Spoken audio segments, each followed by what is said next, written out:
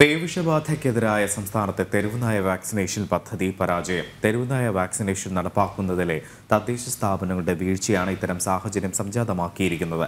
Kochi corporation തെരുവുനായ്ക്കൾ എത്ര എന്നുള്ളതിന് കണക്കുകൾ പോലുമില്ല.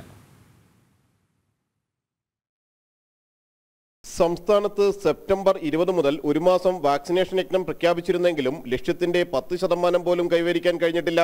സംസ്ഥാനത്താകെ മൂന്ന് ലക്ഷം തെരുവ് നായ്ക്കളുണ്ടെന്ന രണ്ടായിരത്തി പത്തൊൻപതിലെ കണക്കാണ് സർക്കാരിന്റെ കയ്യിൽ ആകെയുള്ളത്. കൊച്ചി കോർപ്പറേഷൻ ഇതുവരെ തെരുവു നായ്ക്കളുടെ എണ്ണം പോലും എടുത്തിട്ടില്ലെന്ന് വിവരാവകാശ മറുപടികൾ വ്യക്തമാക്കുന്നു. തൃക്കാക്കര നഗരസഭ തെരുവു നായ്ക്കളുടെ കണക്കെടുത്തിട്ടുണ്ട്. വാക്സിനേഷൻ പദ്ധതി നടപ്പിലാക്കിയിട്ടില്ലെങ്കിലും വീടുകളിൽ വളർത്തുന്ന നായ്ക്കൾക്ക് ഇവിടെ വാക്സിനേഷൻ നൽകിയിട്ടുമുണ്ട്.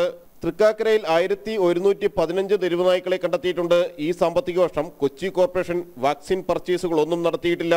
രണ്ടായിരത്തി ഇരുപത്തൊന്ന് രണ്ടായിരത്തി ഇരുപത്തിരണ്ട് വർഷത്തെ ബാക്കിയുള്ള വാക്സിനാണ് ഇപ്പോൾ കൊച്ചി കോർപ്പറേഷനിൽ ഉപയോഗിക്കുന്നതെന്നും മുന്നൂറ് ഡോസ് ബാക്കിയുണ്ടെന്നും ആരോഗ്യ വിഭാഗം വ്യക്തമാക്കുന്നു.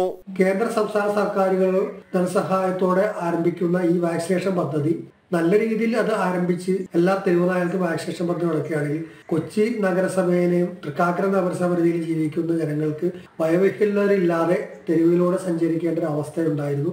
സ്വന്തം ജീവൻ പോലും പണയപ്പെടുത്തി തെരുവിലൂടെ നടക്കേണ്ട ഒരു അവസ്ഥയിലേക്കാണ് ഇപ്പോൾ ഈ രണ്ട് നഗരസഭയുടെ പരിധിയിൽ ജീവിക്കുന്ന ജനങ്ങൾ. തെരുവുനായ ശല്യം രൂക്ഷമാവുകയും പേവിഷബാധയേറ്റ് നിരവധി പേർ മരിക്കുകയും ചെയ്തതോടെയായിരുന്നു സർക്കാർ വാക്സിനേഷൻ യജ്ഞം പ്രഖ്യാപിച്ചത്. എന്നാൽ കാര്യക്ഷമമായി പൂർത്തിയാക്കുന്നതിൽ പരാജയപ്പെടുകയും ചെയ്തു.